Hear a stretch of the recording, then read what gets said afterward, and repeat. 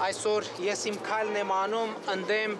Սերժ Սարգսյանի երրորդ ժամկետի եւ ընդդեմ ՀՀԿ-ի։ Գնում եմ Երևան ազատության հրապարակ։ Ես մտածում էի, որ պետքա ոչ թե մի իրավիճակ ստեղծել, որ թաղայինը ծեծի քաղաքացու դուրը, այլ քաղաքացին ծեծի իշխանության դուրը։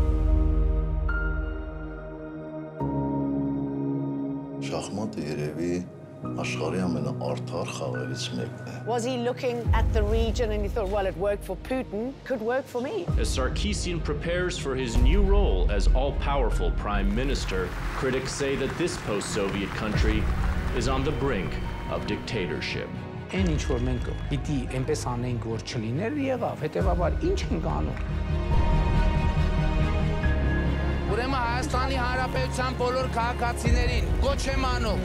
Դուրս գալ փողոցներ։ Փակեն միջհամայնքային բոլոր ճանապարհները։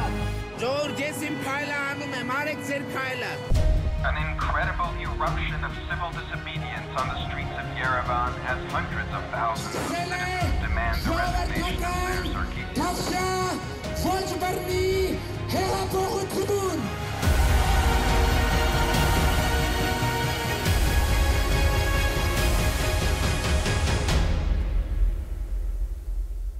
Եվ ես եկել եմ այստեղ քննարկելու